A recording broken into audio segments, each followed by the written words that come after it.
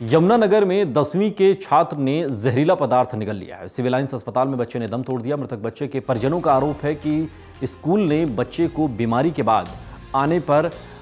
दाखिला नहीं दिया और स्कूल के रवैये की वजह से बच्चा इतना आहत हो गया कि उसने एक जहरीला पदार्थ खा लिया, जिससे उसकी मौत हो गई है। परिजनों ने स्कूल के बाहर भी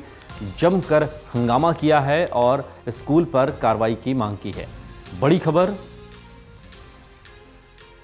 यमुनानगर से, जहाँ दसवीं के एक छात्र ने जहरीला पदार्थ खा लिया और जहरीला पदार्थ खाने के बाद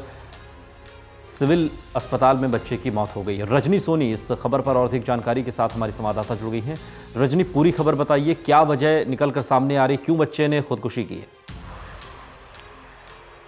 जी, मैं आपको बताना चाहूँगी कि यमुनानगर के दड़वा गाँव है, जहाँ पर एक सरकारी स्कूल का नौवीं कक्षा का छात्र जो है उसने आत्महत्या की है और उसके परिवार वालों का आरोप है कि कुछ, ये जो छात्र था, ये काफ़ी दिनों से बीमार चल रहा था और इसकी वजह से ये स्कूल नहीं जा पाया था और उसके बाद जब ये वापस स्कूल गया तो लेकिन जो स्कूल प्रबंधन थी, उन्होंने वहाँ दाखला देने के लिए मना कर दिया और इसके बाद ये छात्र जो था, अपनी माता को लेकर भी स्कूल में गया लेकिन जो स्कूल प्रिंसिपल थी, उसने इस छात्र और इसकी माता के साथ काफ़ी व्यवहार किया और जिसके चलते आहत होकर इसने जहरीला पदार्थ निकल लिया, निकल गया और उसके बाद यमुनानगर के सिविल हॉस्पिटल में जो है इसकी मौत हो गई और उसके बाद आज जो है परिवार वाले स्कूल में पहुँचे और उन्होंने काफ़ी हंगामा भी किया और मांग की कि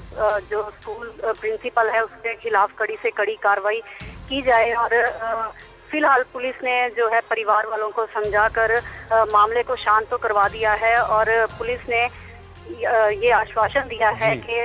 इस मामले में गहनता से जाँच की जाएगी और अगर स्कूल प्रिंसिपल की जो है कोई भी गलती इसमें सामने आती है तो कड़ी से कड़ी कार्रवाई जो है वो स्कूल प्रबंधक के खिलाफ की जाएगी। जी।